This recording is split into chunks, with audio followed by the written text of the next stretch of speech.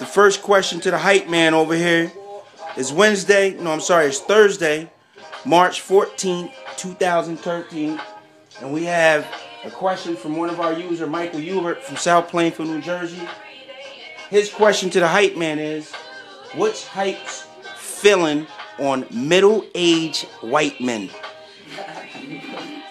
My feeling on um, middle-aged white man is very low. My main concern is middle-aged white women. and what they can do for me. That's it. You got your answer, Mike. Now, I can say what I just said, No. but that's what I'm trying to tell you. Well, tell me Get out- what you just said.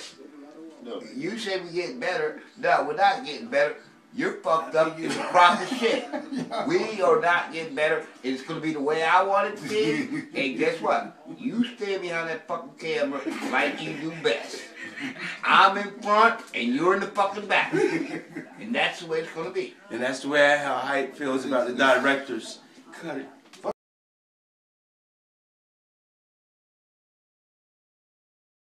Hype. I prefer. Hype. I don't hype. He doesn't hype.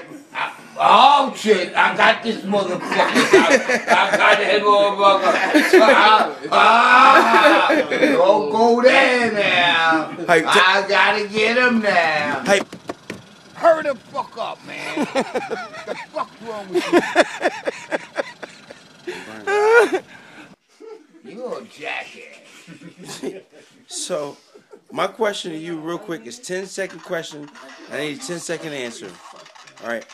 If you had two girls and one case of beer, what are you gonna fucking do? Probably, I'm not gonna share it with the girls.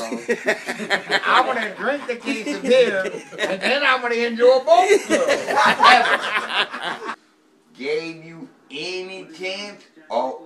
my followers out there, that you could beat me? I had people coming up there, I put a thousand dollars on you.